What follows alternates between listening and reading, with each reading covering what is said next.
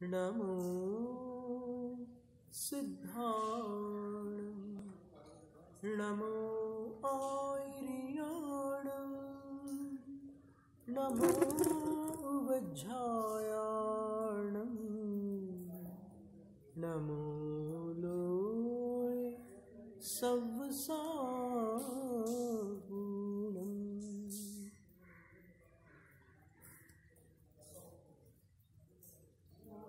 नमस्कार वंदा माता जी वंदा माता जी वंदा माता अच्छा अच्छा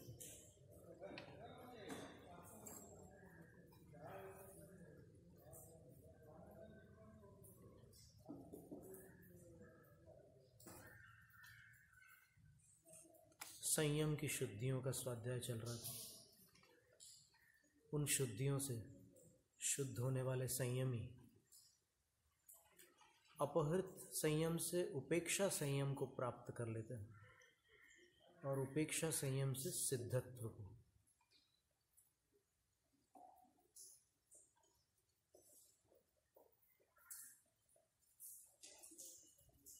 सिद्धत्व तो उपेक्षा संयम से ही होता है। पर उपेक्षा संयम में जाने वाले सभी सिद्ध नहीं होते। वहाँ वैकल्पिक है। अगर पूरी सामग्री होगी द्रव्यादि स्वादि संपत्ता वात्मनोप्यात्मता द्रव्य क्षेत्र, काल, भाव, चारों अगर सुव्यवस्थित हो जाते हैं, तब सिद्धत्व की प्राप्ति होती है।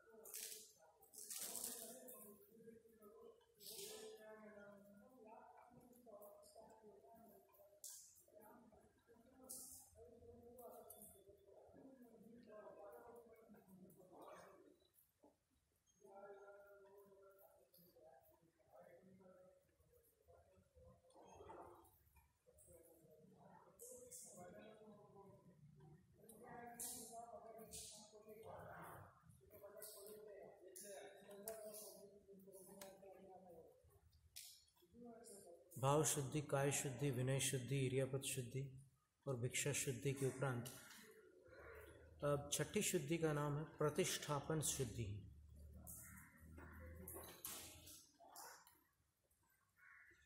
प्रतिष्ठापन शुद्धि पर है संयत। प्रतिष्ठापन शुद्धि में तत्पर जो संयत होते हैं, वे नकरोम सिंघाणक निष्ठीवन शुक्लोच्चार प्रस्रवण शोधने, देह परित्यागे च, विदित देश कालो जंतुपुरोध मंतरेण प्रयतते। प्रतिष्ठापन शुद्धि में तत्पर संयत नाक रोम नासिका का मल मुख से निकलने वाला, कंठ आदि से निकलने वाला जो कफ है, और अन्य भी मल, मूत्र आदि और यहाँ तक के कि जब अपनी आयु पूर्ण हो रही है और अपना शरीर छूटने वाला है तो उस शरीर को भी ऐसे स्थान पर, ऐसे समय पर छोड़ते हैं कि जहाँ जीवों को बाधा न पहुँचे। एक ज्ञातव्य तथ्य है कि शास्त्रों में यदि मुनिराज अथवा आर्यका, क्षुल्लक आदि शरीर विसर्जित करते हैं तो उनको उस स्थान पर छोड़ दिया जाता है। संघ के द्वारा उनको वहाँ छोड़ दिया जाता है और छोड़ने की पूरी एक प्रक्रिया होती है, उस प्रक्रिया से उनको छोड़ दिया जाता है। पर उनका अंतिम संस्कार नहीं किया जाता। शास्त्रों में, भगवती आराधना में, मरण खंडिका में ऐसा विवरण है। और फिर, जैसे सुकुमाल स्वामी थे, वो श्मशान में, शवासन में कायोत्सर्ग कर रहे थे और उन पर तीन दिन उपसर्ग हो गया, शरीर छूट गया। तो उस समय सौधर्म इंद्र ने आकर के, वहाँ पर वो सब संस्कार विधि की थी।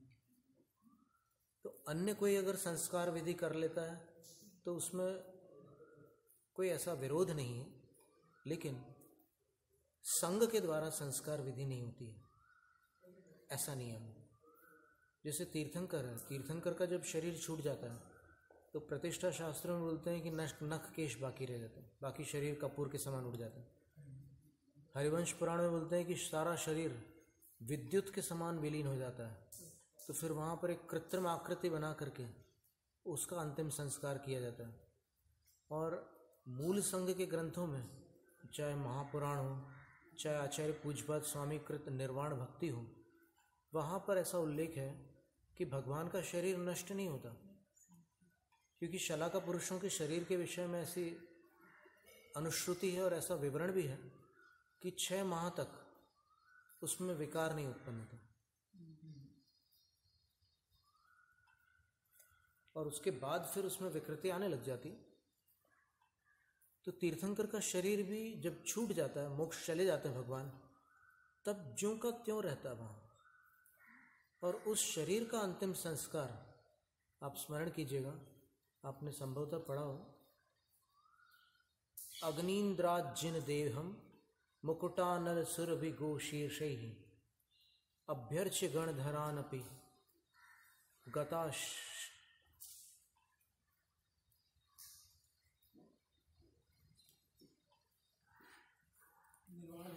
दिवम खम च वन भवनी।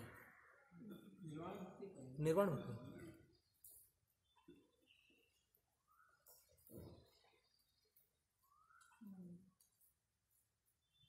अग्निन्द्रा अग्नि कुमार जो इंद्र होते हैं, वो मुकुट आनल, उनके मुकुट से उत्पन्न हुई अग्नि द्वारा और सुरभि गो शीर्ष ही अभ्यर्च, वो एक अर्चना है।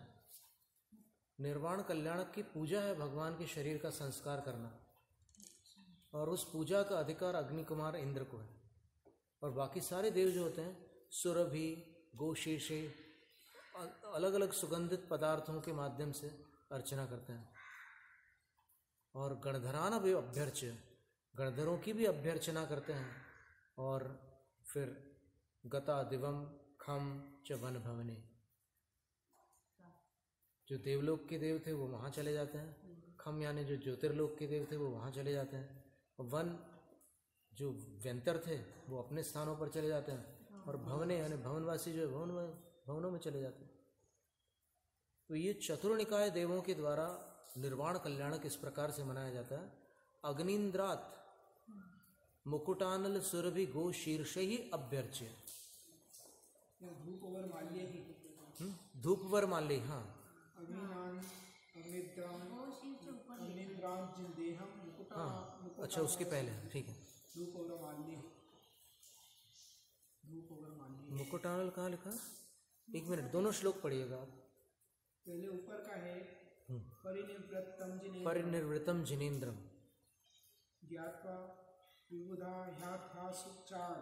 ठीक है इसका अर्थ करते जाता। जिनेन्द्रम परिनिर्वृतम ज्ञातवा। जिनेन्द्र भगवान परिनिर्वाण को प्राप्त हो गए हैं ऐसा जान करके फिर विबुधा। विबुधा। विबुधा यानी देवगण। यथाशु चागम्य। नियमतः शीघ्रता पूर्वक आ करके क्या क्या करते हैं? देवतरु रक्त चंदन देवतरु। रक्त चंदन देवतरु का अर्थ होता है सुर तरु यानी कल्प वृक्षों के जो लाल चंदन द्रव्य होते हैं। काला गुरु काला गुरु भी एक धूप में सम्मिलित पदार्थ होता है। सुरभि सुरभि गो ही और सुरभित जो गोशीर्ष चंदन है इन सब के माध्यम से फिर दूसरा काव्य आ जाएगा ना। अग्निन्द्रात जिन देहम। और अग्नि कुमार इंद्र के माध्यम से उस उससे मुकुटानल गो मुकुटानल सुरभि। धूपवर माल्य धूपवर माल्य मुकुट की अग्नि फिर सुरभि धूप सुगंधित धूप और वरमाल्य उत्कृष्ट कल्प वृक्षों के फूलों की मालाओं के द्वारा अभ्यर्च भगवान जिन देहम अभ्यर्च जिनेन्द्र के देह की अभ्यर्चना करके वो कृत्रिम देह नहीं है वो जिनेन्द्र की देह है। उसको अभ्यर्चित करके और गणधराना पे अभ्यर्च गणधर गणधरों की भी अभ्यर्चना करके गता दिवम खम च वन भवने। चारों निकाय के देव अपने अपने ठिकानों पर चले जाते हैं।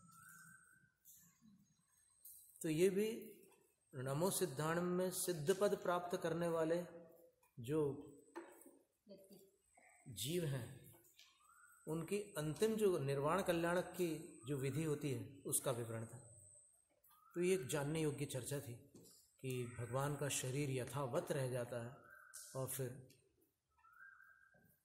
उसकी अर्चना करते हैं और उसको अग्निकुमार देव अपने मुकुट से निकलने वाली अग्नि से संस्कारित करते हैं। तो अभी कल एक प्रश्न था ना कि उन क्षेत्रों का क्या महत्व है? तो वहाँ पर भगवान की राख है। भगवान के शरीर की राख है वहाँ पर। ये महत्व उस क्षेत्र का। यानी उनकी देह के परमाणु आज भी वहाँ पर विद्यमान है। उसी के प्रतीक में हवन में भी तीर्थंकर कुंड गंधर कुंड केवली हाँ वो तीन कुंडों का वर्णन अलग आता है। अग्नि और ऐसे हाँ। हैं। उत्तर पुराण और महापुराण में वर्णन है इसका। त्रिकोण कुंड होता है चौकोर कुंड होता है और गोल कुंड होता है। तीर्थंकर, सामान्य केवली और गणधर कुंड, ऐसे तीन कुंड तो ये सारी विधियाँ, हवन विधियाँ जो हैं, ये आगम सम्मत हैं।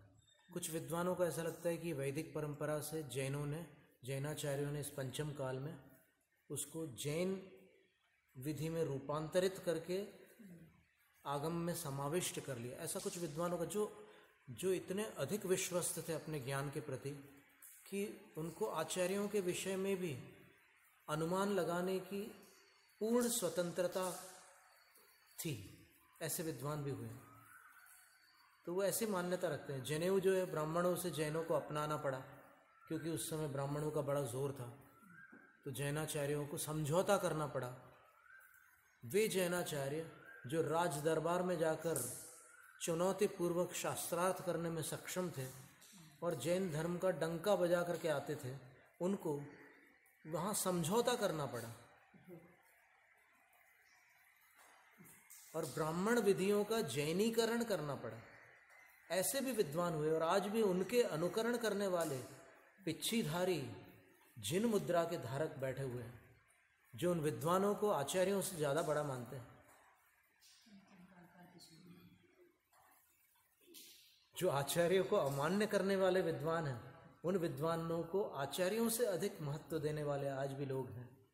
और वो भी यही कहते हैं, उतारो जनेऊ, ये क्या पुराना वो लगा के रखा है पूरा? जनेऊ उतरा देते हैं। और भी पता नहीं क्या क्या होता है। कोई बात नहीं, अपनी चर्चा दूसरी थी।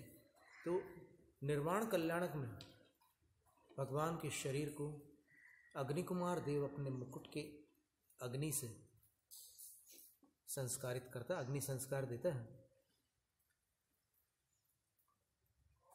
तो ये बात भी उसमें सम्मिलित है। प्रसंग की ओर से अंतिम संस्कार नहीं होता। शपक के या क्षपिका के शरीर का अंतिम संस्कार नहीं होते। निषेधिका पर जाते हैं, उसका तो उल्लेख है, और वहाँ जाकर भक्तियाँ करते हैं, उसका भी आगम में निर्देश है तो उसमें आपत्ति नहीं है।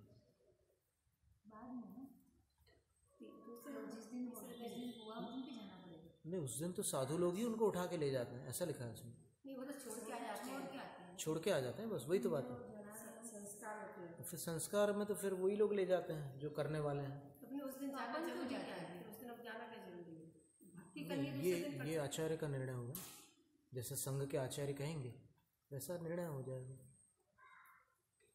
भक्ति तो करेंगे ही करेंगे। तो तो तो जैसा भी उसमें उल्लेख हो वैसा होता है। यहाँ पे मरा हुआ उस दिन भी शाम रात में की थी फिर उस दिन संस्कार क्योंकि आत्मा तो यथास्थान जा चुकी है।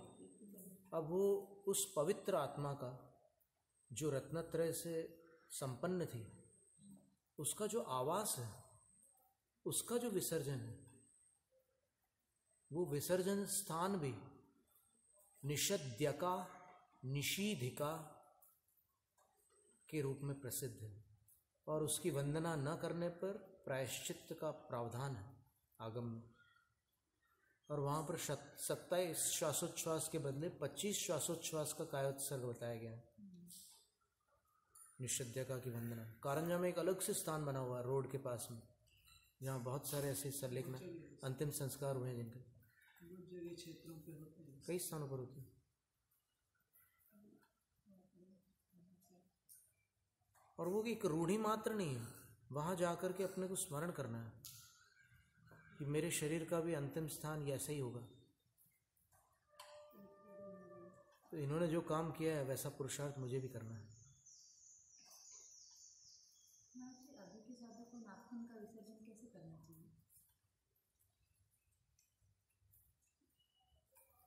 जी ये भी प्रतिष्ठापना समिति के अंतर्गत ही आता है। जिससे नाखून बढ़ गए हैं। तो मूलाचार ग्रंथ की टीका में लिखा है कि साधु नख रदन अपने पास रख सकते हैं। घर्षण से भी नाखून घिस जाते हैं। कुछ साधु ऐसे करके उसको अलग भी कर लेते हैं। पर उसमें नख रदन का उल्लेख है मूलाचार ग्रंथ की टीका में। नख रदन का अर्थ होता है, नख को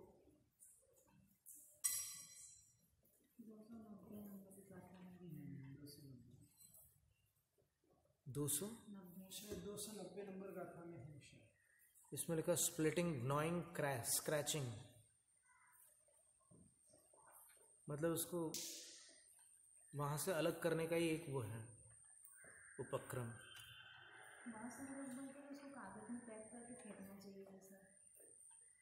अब कई लोग बोलते हैं कि पक्षी खाते हैं तो मर जाते हैं। और कोई कहते हैं कि चीटियाँ उठा कर ले जाती हैं। तो चीटियाँ उठा कर ले जाती है तो देखा हमने। लेकिन पक्षी जो होता है ना वो अनजान वस्तु को खाते नहीं हैं। जितना हमने अभी तक देखा है जीवन में कि वो आप देखिएगा कि वो जो चिड़िया के लिए दाने जा डाले जाते हैं उसमें कभी कभी कंकड़ भी रहते हैं। कभी कभी सफ़ेद रंग के भी कंकड़ होते हैं। लेकिन चिड़िया कभी उस कंकड़ को नहीं खाती। वो हमेशा दाने को ही खाती है। तो ये बात थोड़ी गले नहीं उतर रही अभी फ़िलहाल कि चिड़िया और नाखून को खा जाएगी मनुष्य के। समझ से बाहर है। हाँ वो तो सब ठीक है। हाँ। मूलाक्षर दो सौ इक्यानवे की टीका में आया। देख लेते हैं। हम आपको दूसरी वाली गाथा भी बता देंगे जिसमें केशों का विसर्जन कहाँ किया जाता है? साधु को स्वयं करना होता है। देखो, तीर्थंकर के बाल उसमें डालते हैं, क्षीर सागर के जल में। वो तीर्थंकर हैं। लेकिन आज के साधुओं के केश कहाँ डाले जाते हैं, वो भी अपन देख लेते हैं, मूलाचार ग्रंथ के अनुसार।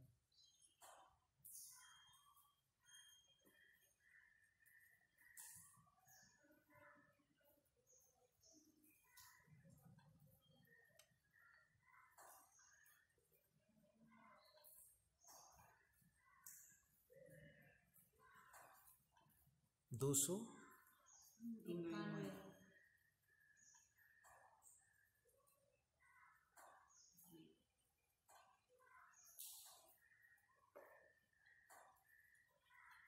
हम्म, ये लिखा हुआ है।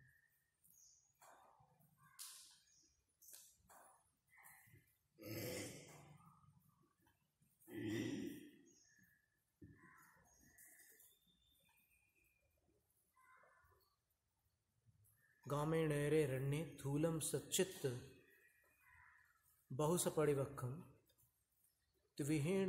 वज्जिदव्वम् अदिण्णगहणं च निच्चम ग्राम, नगर, अरण्य अर्थात वन, इन स्थानों पर जो भी स्थूल वस्तु हो सचित्त वस्तु हो, अधिक हो,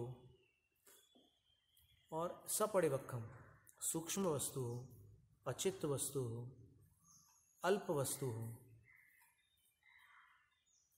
उनको बिना दिए हुए ग्रहण करना।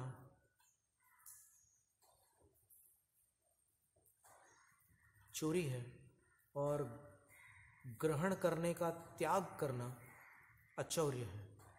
तो उसका सर्वथा ही मन वचन काय पूर्वक त्याग करना चाहिए, बिना दी हुई वस्तु का। फिर बाढ़ से वेष्टित को ग्राम कहते हैं। चार गोपुर यानी द्वारों वाले परकोटे से सहित को नगर कहते हैं। बड़े वन को अरण्य कहते हैं। ये उपलक्ष्य मात्र है। इससे ग्राम, नगर, पत्तन, अरण्य, मार्ग, खलिहान, मटम, खेत, करवट, संवाहन, द्रोणमुख, सागर, द्वीप, पर्वत, नदी आदि अन्य भी कोई स्थान है, उन सबको ग्रहण कर लिया जाता है। अब वहाँ पर रखी हुई पड़ी हुई वस्तु, चाहे सूक्ष्म हो या स्थूल, सचित हो या अचित, बड़ी हो या छोटी, स्वर्ण आदि द्रव्य हो, धन धान्य हो, द्विपद, चतुष्पद कांस्य पात्र आदि और वस्त्राभरण आदि हो, या पुस्तक, कपलिका अर्थात कमंडल, नख कतरनी अथवा पिच्छिका इनमें से कोई भी वस्तु उन स्थानों पर नष्ट हुई, किसी की खो गई हो, कोई भूल गया हो, या किसी की गिर गई हो, या किसी ने रख दी हो, या किसी ने संग्रहित की हो, उन पदार्थों को मन वचन काय कृत कार्य अनुमोदना से बिना दी हुई वस्तु को ग्रहण करना चोरी है। उसका सर्वथा त्याग करना चाहिए। अन्य भी जो वस्तु इसी प्रकार की धन आदि, जो विरोध का कारण है, उसकी भी इच्छा नहीं करनी चाहिए। माने दो प्रकार की वस्तुएँ हो सकती कुछ ऐसी वस्तुएँ जो विरोध का कारण न हो, और जो कुछ ऐसी वस्तुएँ जो विरोध का कारण हो तो उन सभी को छोड़ देना चाहिए। तात्पर्य है कि किसी भी स्थान पर कोई भी वस्तु कैसी भी क्यों न हो, यदि वह उसके स्वामी के द्वारा दी गई नहीं है तो उसको लेना चोरी है। उस चोरी का त्याग करना अचौर्य महाव्रत है। ये बात हुई। तो इसमें कौन से कौन सी वस्तुएँ हैं?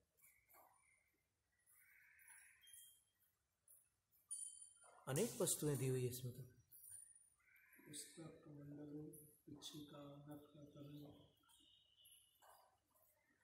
इनको एक अलग समस्त पद बना करके अलग से दिया हुआ है।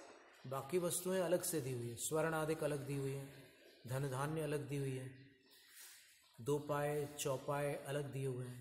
पर इससे ये कहाँ प्रमाणित हो रहा है कि साधु रख सकते हाँ? यही तो हम इसी पर आ रहे थे। कांसे के बर्तन आदि फिर वस्त्र आभरण आदि आभरण का अर्थ आभूषण होता है।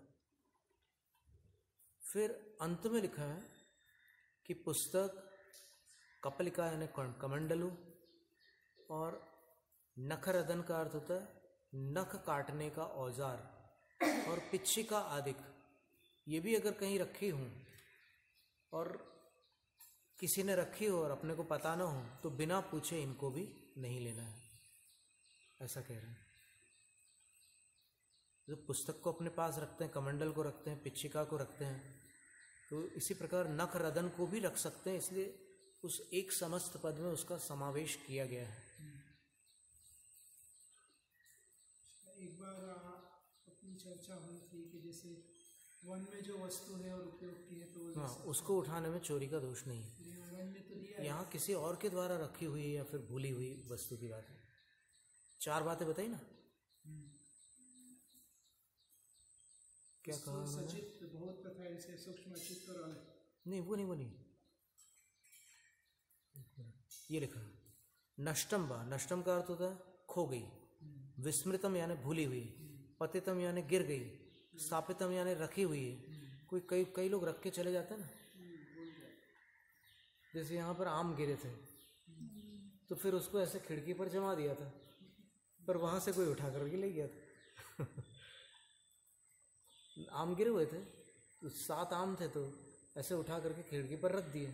हमने रखे थे। हमने सोचा कि भाई रख देते हैं, वो नीचे पड़े पड़े उसमें जीव जंतु हो जाएँगे तो फिर उसको ऊपर रख दिया, पीछे लगा के फिर वहाँ से कोई ले गया। तो अगर ऐसे रखी हुई चीज़ हो तो उसके स्वामी हम भी नहीं थे। कायदे से हमें भी उठाना उचित नहीं था, पर वो ऐसे ही पड़े थे तो उठा के रख दिया। फिर बाकी लोग पूछताछ करके कहीं कुछ उसका उपयोग करना हो, वो जाने, पर वहाँ रख दिया था। तो रखी हुई वस्तु भी स्थापितम पर संग्रहित पर संग्रहीतम दूसरे के द्वारा इकट्ठा की हुई वस्तु। रखना अलग है और इकट्ठा करना अलग है। बच्चे लोग पहले के ज़माने में सीप वगैरह इकट्ठा कर लेते थे, रेत में खेलते समय, और उनको एकदम इकट्ठा करके चले जाते थे। तो ऐसी वस्तु को भी मन वचन काय से, कृत कार्य अनुमोदना से, अगर बिना दी हुई वस्तु है तो उसको नहीं लेना, उसका त्याग रखना। ये अचौर्य है। तो इसमें ये चार वस्तुएँ जो दी है और आदि शब्द से और भी कुछ ऐसी वस्तुएँ हो सकती है। क्योंकि देखिए, प्रवचन सार ग्रंथ की टीका में भी आचार्य जयसेन स्वामी ने पिच्छी कमंडल और शास्त्र आदि लिखा है। तो इसका अर्थ ये हुआ कि जो लोग कहते हैं कि पिच्छी कमंडल और शास्त्र के अतिरिक्त अगर साधु कोई भी चीज़ रखते हैं तो वो साधु साधु नहीं है। तो समस्या ये है कि आज लोग वकील बनने से पहले जज बन गए हैं। और एलएलबी पढ़े नहीं है। और बड़ी बड़ी वो दे रहे हैं मतलब बड़े बड़े फैसले दे रहे हैं साधुओं के बारे में। अब इसका अर्थ ये नहीं कि हम अतिरेक का समर्थन कर रहे हो। अतिरेक भी उचित नहीं है। और इधर भी खींचातानी नहीं करना, उधर भी नहीं करना है। दोनों बातें अब आप ये देखिएगा कि केशलोंज के बालों का क्या करना है। ये प्रतिष्ठापना शुद्धि के अंतर्गत वर्णन आ रहा है।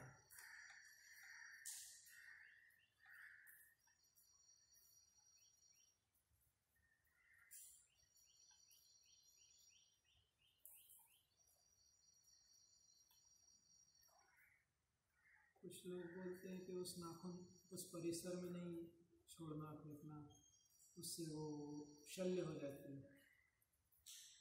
ऐसा भी हो सकता है। शकुन का भी शकुन शास्त्र का भी अपना एक अलग वो है।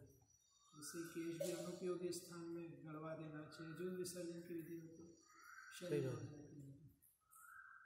अपन साधु लोग तो क्या प्राय कर धर्मशाला त्यागी भवन और ऐसे क्षेत्रों में रुकते हैं ना हम्म, उस क्षेत्र में शल्य हो जाएगी साधु की बाल वहीं रहेगी। अच्छा। नाखून वहीं रहेगी इसलिए उसको दूर कहीं अलग जगह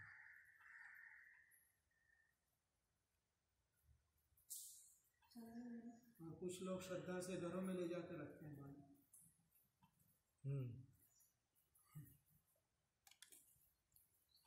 खैर उसका अपन ना तो समर्थन कर सकते हैं ना ही अनुमोदना कर सकते। कुछ भी नहीं कर सकता उसको क्योंकि तो अंतर्मुहूर्त में उसमें जो उत्पत्ति हो जाती है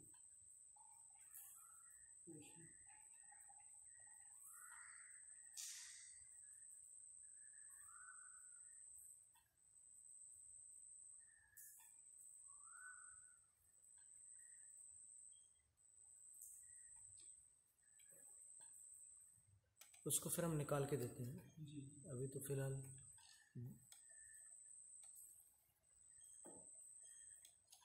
वहाँ पर यही लिखा हुआ है कि उसको केश को अपने केश जो उखाड़े हैं उसको स्वयं साधु किसी प्रासुक स्थान पर विसर्जित करें। नहीं मिट्टी खोदने की गड्ढे खोदने की आवश्यकता है। और साधु खोद भी नहीं सकते गड्ढे और नहीं पानी में विसर्जित करने की बात है। उसको एकदम प्रासुक भूमि प्रदेश पर पीछे से मार्जन करके वहाँ पर उसको विसर्जित करें अपने केश को। ऐसा स्पष्ट लिखा हुआ है। हम्म? हाँ ये सरल है बिल्कुल। ये तो साधु के शक्यानुष्ठान है। कहीं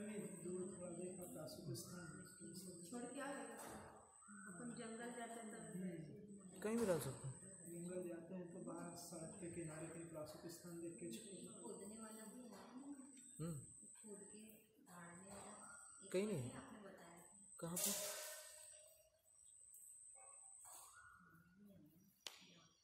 अच्छा पर अभी मूलाचार में तो इसका प्रकरण नहीं है खोदने वाला।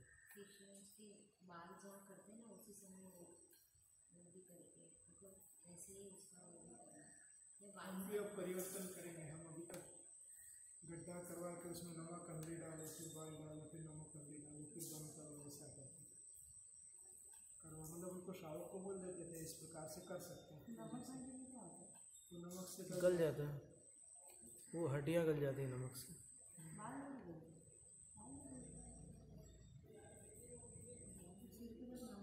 तो नख रोम सिंघाड़ का भी ये ये संयत कर रहे हैं जी जी।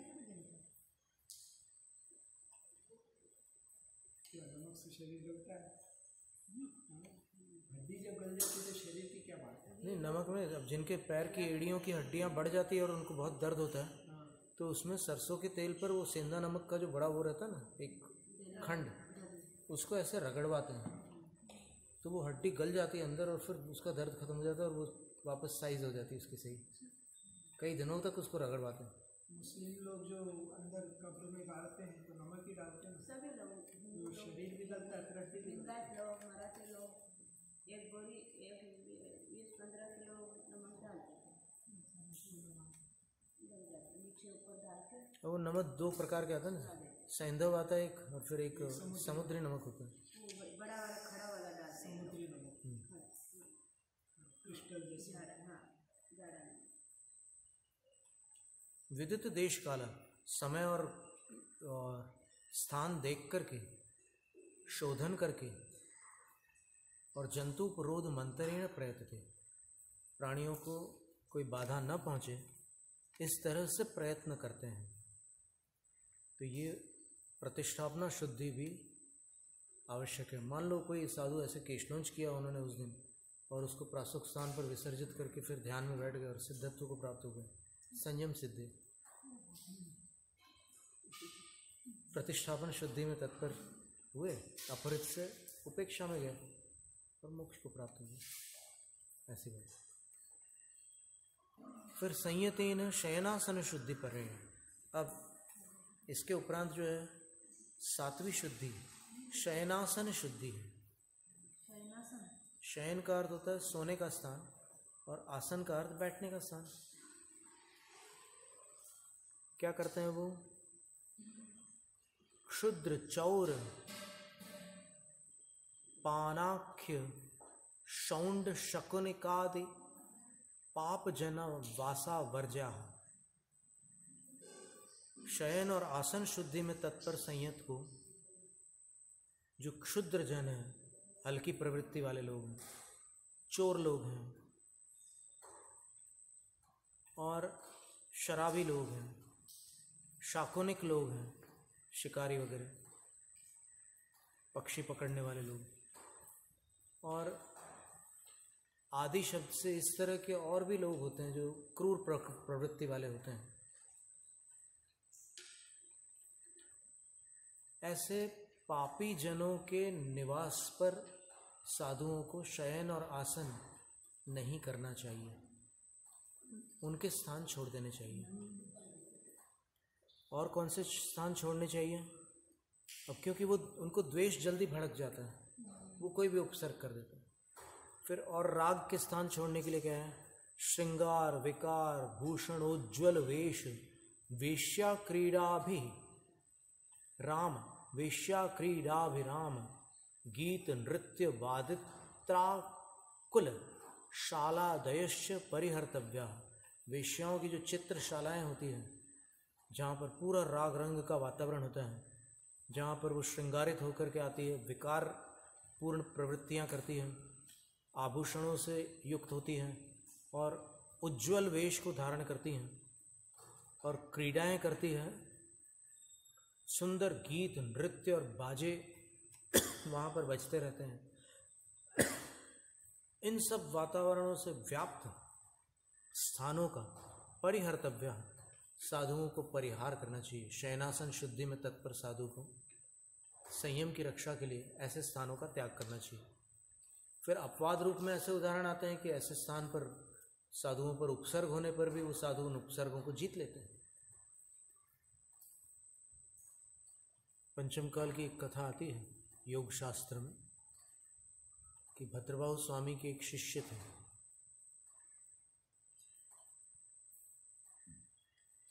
उन्होंने ऐसी चित्रशाला में चतुर्मास करके अपने मन को निर्विकार रखा था। वो कथा सुनी हो आपने शायद?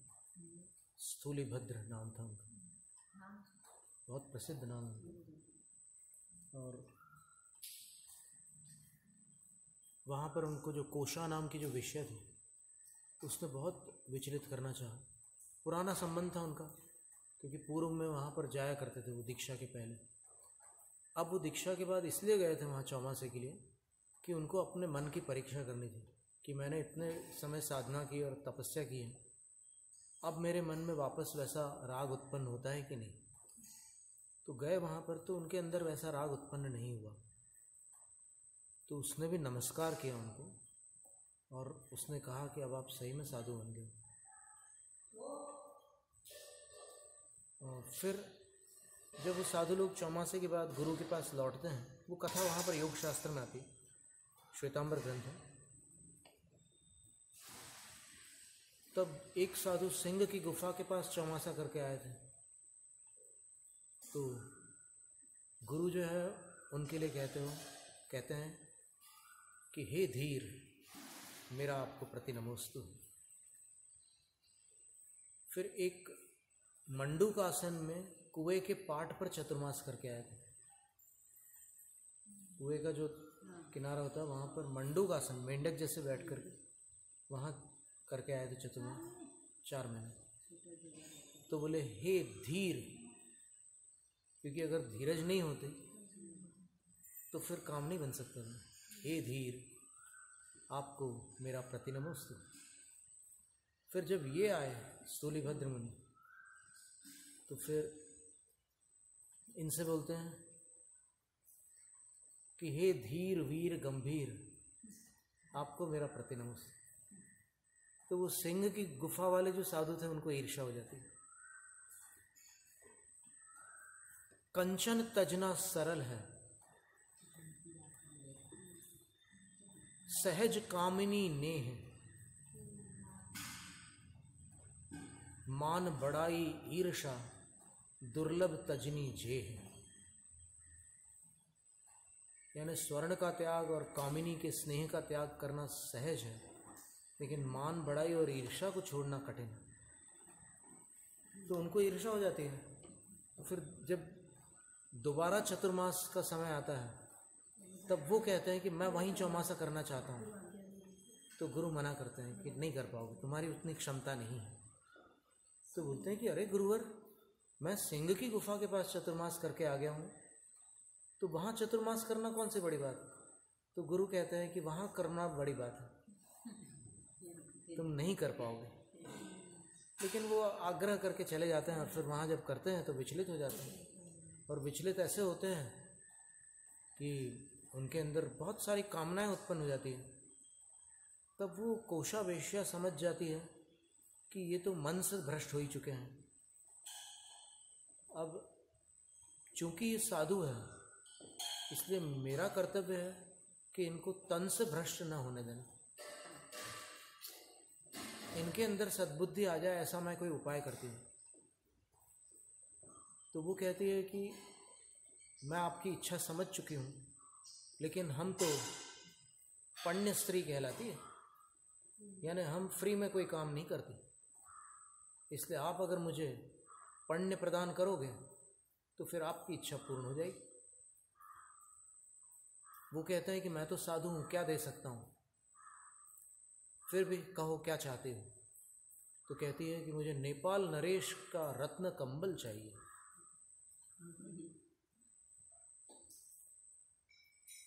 तो वो चौमासे में नेपाल नरेश का रत्न कंबल लेने चले जाते हैं और नेपाल नरेश बोलते हैं कि अगर मुझे संदेश भेज देते तो हे गुरुवर, मैं आपको किसी दूत के माध्यम से या स्वयं देने आ जाता। अब राजा को क्या पता कि इनके मन में क्या है? बड़े सम्मान के साथ वहाँ से वो विदा होते हैं और लौट करके आते हैं योजनों चल करके। और जब वहाँ पर आते हैं, लौट करके उस स्थान पर पहुँचते हैं तो वो बगीचे में टहल रही थी। और वहाँ की भूमि और घास वगैरह थोड़ी गीली थी। वो टहल रही थी। और ये यहाँ से आवाज़ लगाते हैं कि मैं आ गया आ गया। तो वो बड़ी उपेक्षा दृष्टि से उनकी ओर देख करके पूछती हो कि, चिल्ला क्यों रहे हो? तो बोले, मैं एक कठिन कार्य करके आया हूँ। राजा से मैं तुम्हारे लिए रत्न कंबल लेकर के आया हूँ। अच्छा ऐसे बोलती है। वो और फिर उस रत्न कंबल को अपने हाथ में लेती है। वो बड़े प्रेम से देते हैं। उसको हाथ में लेकर के अपने पैर की धूल फेंक, पोछ करके नाली में फेंक देती है। तो वो कहते हैं कि, अरे, ये क्या किया तुमने? मुझे लगा था कि तुम इसको ओढ़ोगी। लेकिन तुमने तो कीचड़ पोछ करके इसको नाली में फेंक दिया। कितना मूल्यवान था वह रत्न कंबल। तो वो कहती है कि मैंने रत्न कंबल नाली में फेंक दिया। इसका तुम्हें खेद हो रहा है? तुमने रत्नत्रय नाली में फेंकने का उपक्रम किया उसका खेद नहीं हो रहा? बस ए, इस एक वाक्य को सुनकर उनका हृदय परिवर्तित हो जाता। है वो गुरु के पास लौटते हैं। पहले उन मुनि को नमस्कार करते हैं जिनका चौमासा हुआ था वहाँ पर और फिर गुरु के पास आकर के कहते हैं कि मुझे पुनर्दीक्षा दीजिए। मेरा अहंकार चूर चूर हो चुका है। ऐसी घटना है फिर भद्रबाहु स्वामी जो स्थूलीभद्र मुनि थे, उनको भी बारह अंगों का अध्ययन करा रहे थे। लेकिन दसवें पूर्व में वो अनुत्तीर्ण हो जाते हैं। आप सोचिए कि कितने व्यवधानों को पार करने के बाद वो शुद्धि प्राप्त होती है।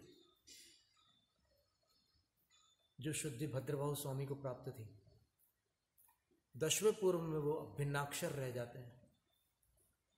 और तब गुरु कहते हैं कि इसके आगे का अध्ययन मैं नहीं करा सकता। क्योंकि तुम अपात्र प्रमाणित हुए। तुमने विद्याओं का प्रयोग कर लिया। भावलिंगी साधु विद्याओं का प्रयोग नहीं करते। तुमने रूप परावर्तनी विद्या का प्रयोग करके अपना शेर का रूप बना लिया।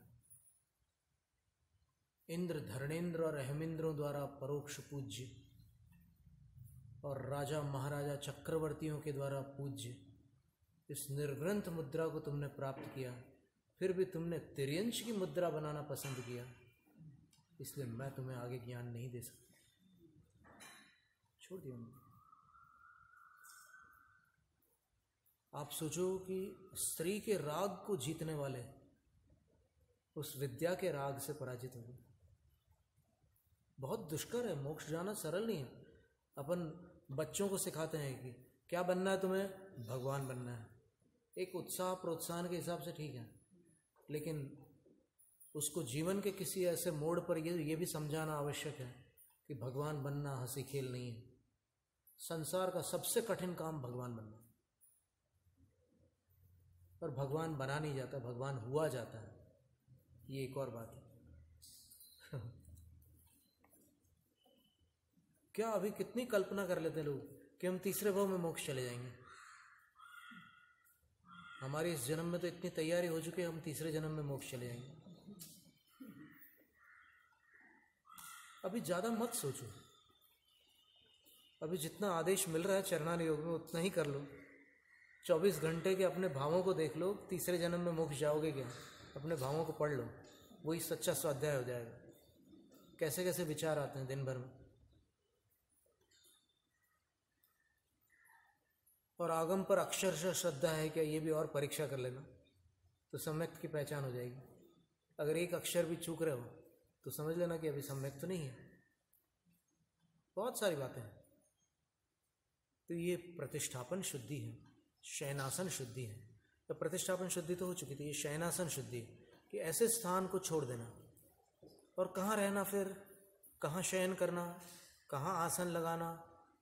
तो आचार्य कहते हैं, अकृत्रिम गिरी गुहा तरुकोटरादय, कृत्रिमाश्च शून्यागारादय मुक्त मोचित आवासा अनात्मोद्देश्य निर्वर्तिता निरारंभा सेव्या। साधु ऐसे स्थान पर रहें, जो कुदरती, प्राकृतिक रूप से बने हुए जो पहाड़ों की गुफाएँ हैं, वृक्षों में ऐसे खोल बन जाती है बड़ी बड़ी जहाँ वो बैठ सकते हैं। वहाँ बैठ सकते हैं, कोई आपत्ति नहीं है।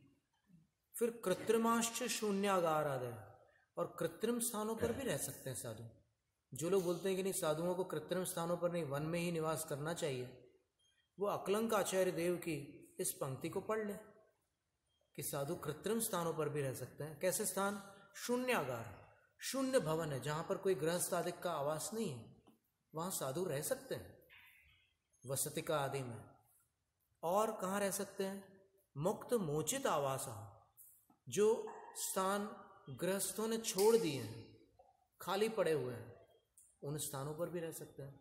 और जो स्थान मोचित है, यानी सरकार की ओर से खाली कराए गए निवास हैं, बाढ़ के समय या फिर आगजनी के समय या भूकंप के समय सरकार ने कह दिया कि भाई यहाँ नहीं रह सकते ये ये स्थान संकटग्रस्त है।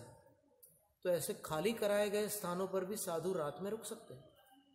या कभी और कुछ समय के लिए रुकना हो तो वहाँ ठहर सकते हैं। चोरी का दोष नहीं लगेगा। तो ये शयनासन शुद्धि है।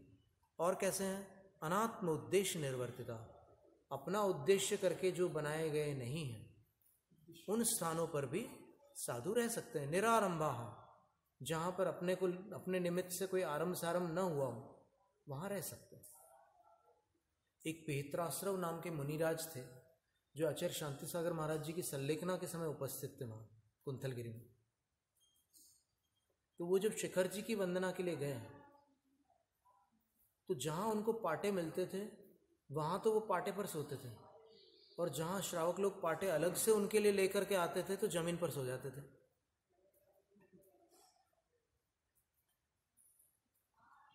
तो एक पंडित जगनमोहन लाल जी ने उनसे पूछा कि महाराज, ऐसा क्यों? तो बोले, ऐसे ही तो है शास्त्र में, मैं क्या करूँ? एकदम सरल सीधे साधे और अपने उसमें मग्न रहने वाले साधु। कई ऐसे साधु हुए हैं जिनके नाम नहीं हैं पर काम के वो बड़े थे।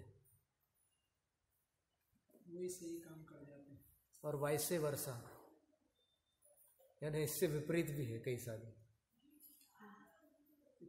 इतना ही। रखते हैं। एक अंतिम शुद्धि बच गई है वचन शुद्धि। बहुत बड़ी शुद्धि है। जैनम जय शासन